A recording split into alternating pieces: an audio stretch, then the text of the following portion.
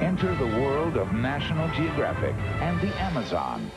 It's the world's largest river, carving its way through a vast forest of staggering beauty. Every year, the water floods over the land, turning two separate worlds into one. Journey through this little-known season of intense beauty and wonder on the world of National Geographic. Sunday at 8 on WB 23.